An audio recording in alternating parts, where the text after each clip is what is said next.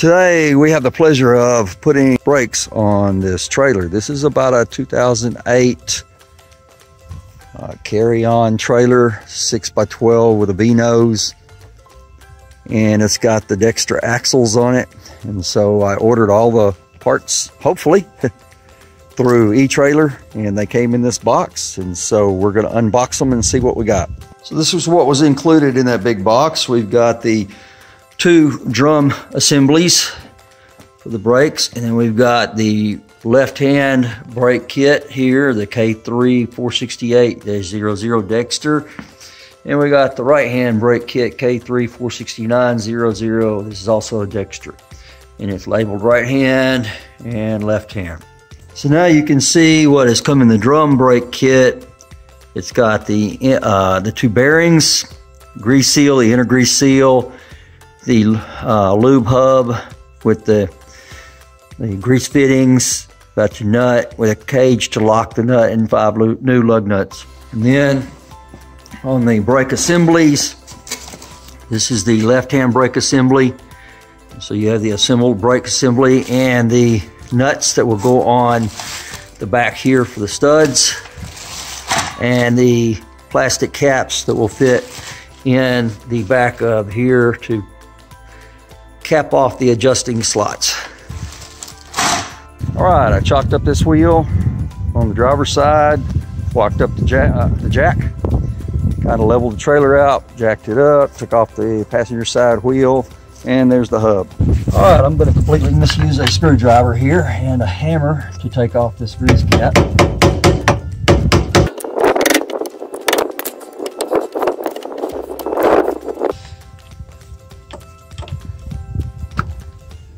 And it's of grease, of course.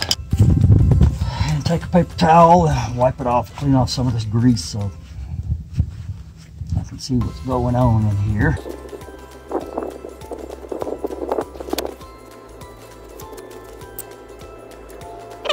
Retainer on top of the nut. So I'm going to get the retainer off. I don't know how it goes on, so yeah, it looks like it just pops on. There it goes. Just popped off.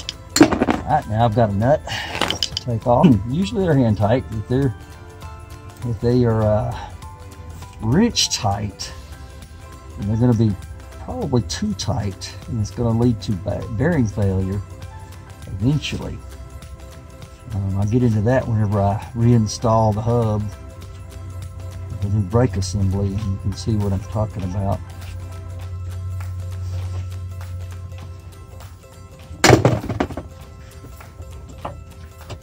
Wheel on the hub and it gets the bearing out, the bearing and the washer. And then the hub comes off. There's the inner bearing here and the inner seal here. And we're left with a greasy grime axle stub.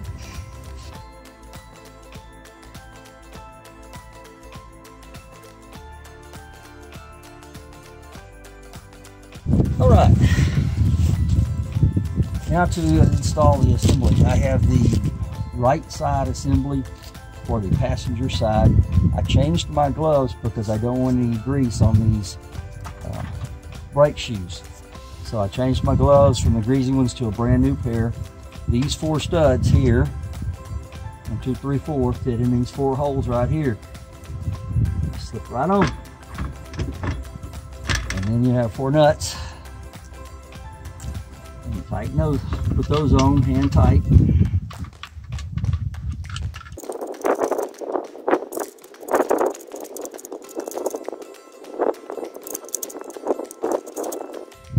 Four nuts are on hand tight, and now I've got to torque them on. And you have to look at the directions, what little directions there are for the torque specs. Mine are 45, 45 to 70 foot-pounds. Now the other issue is getting a torque wrench on it because the hub and everything behind it is in the way of getting a good socket wrench on it. So that may become a challenge for you.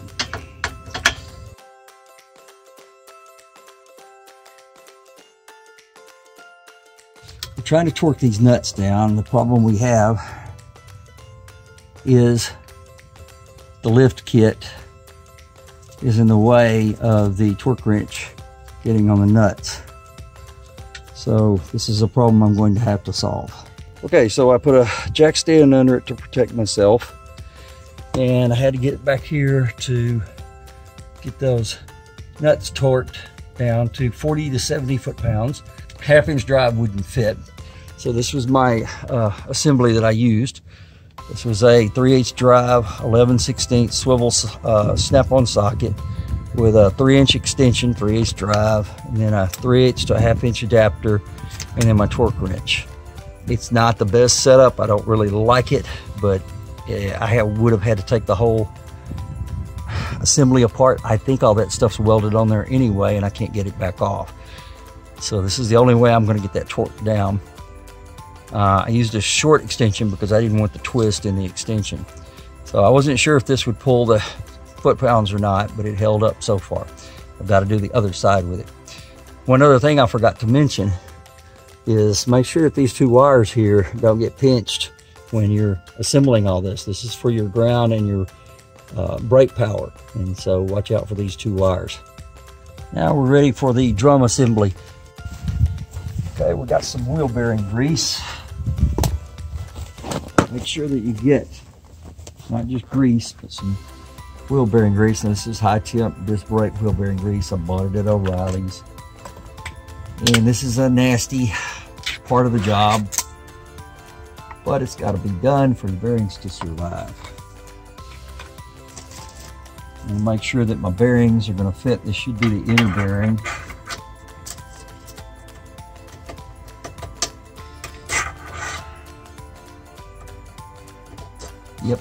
On the spindle. And then it's the outer bearing and it should fit on the spindle. It's going to be a tight fit. It should be a tight fit. If it won't fit now, I'm not going to put a grease on them. So they both fit. All right, usually the inner bearing, in this case especially, is outer is bigger. So we've got to pack this bearing full of grease. Now I've seen guys get a wad of dirt and grease and just and put it together. That's not how I do it. I get me some good old grease on my hand here. Take this grit, this bearing and you're forcing this grease up inside of those bearings, those needle bearings. And you want to keep doing it until that grease packs in there. It's a nasty, disgusting job, but hey, at least the grease is kind of clean.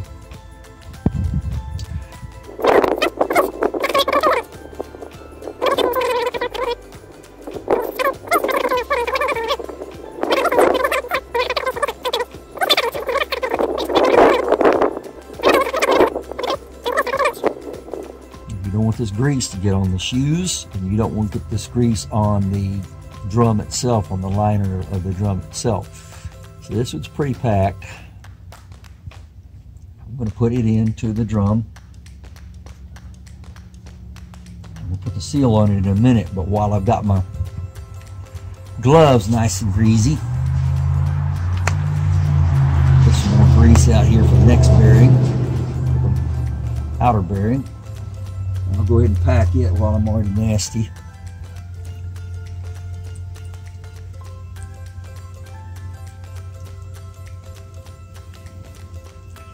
I don't know who invented these black gloves, but I used to do this barehanded, and this is so much nicer to be able to peel these gloves off and not have to wash my hands after all this.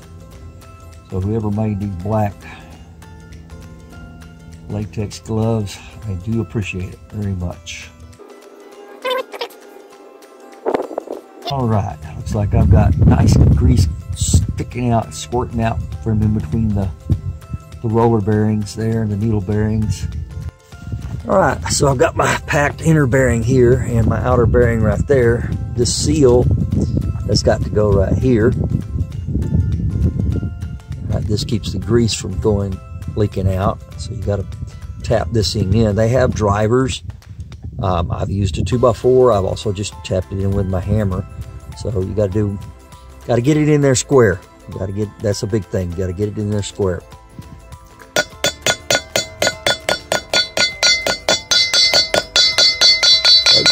Tap it in there until it's flush. I'll wipe, make sure I wipe all the grease off. Also put a little thin film of grease on the rubber part so it doesn't, when you first start it, it doesn't run dry and burn this seal. Make sure there's no grease on the inside of this drum here. Might take a paper towel, wipe it out. If you need to, take some alcohol or something, rubbing alcohol, and rub the inside of that, clean it all out. Now we're ready to slide the drum on.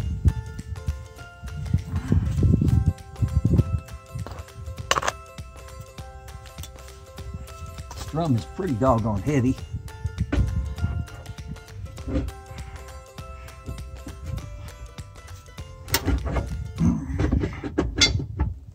slipped on, really nice.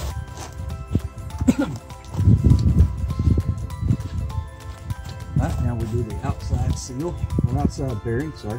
Now we do the outside bearing.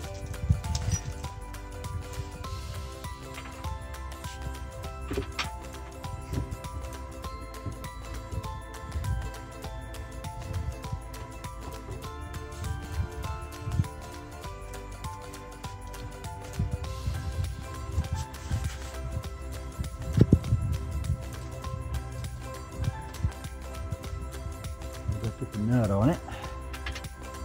I thought there would be a washer.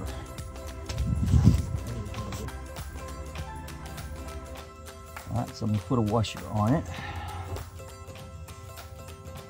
Going to put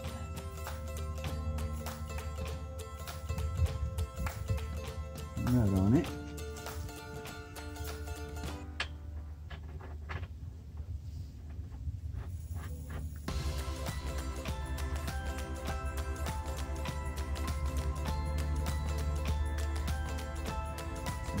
Nut has got to be, you got to preload these bearings.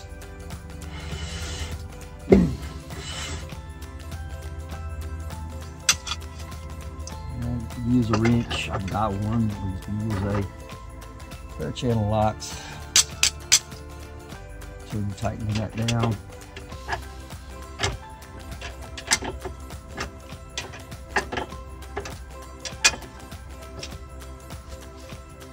Rotate the drum as I'm tightening it down to get a feel for how tight it's getting.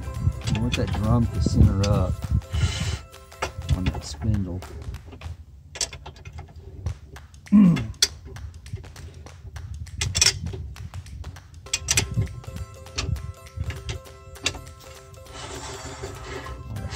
Feeling really good. And a little drag on the brake shoes. All right, so what I've got is I tightened that up. Can feel it tightened up. That nut is tight. The drum is rotating. Now I'm gonna back it off with like a quarter turn.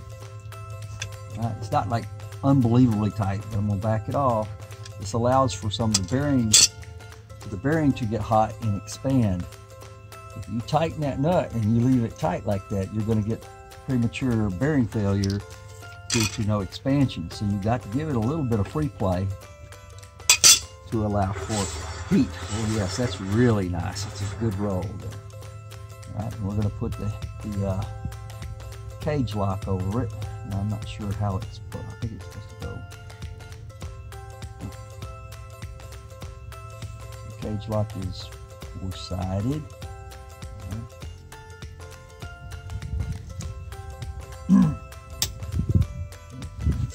To go on there.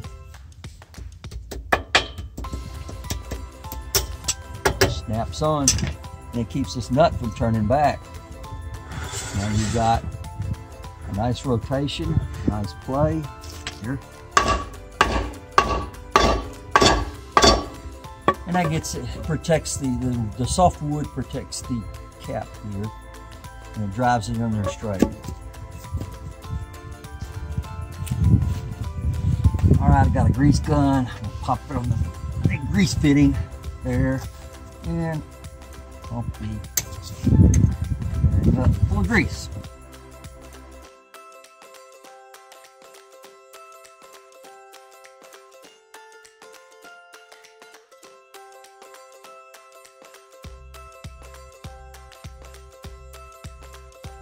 Now I'm going to slip the uh, dust cover on.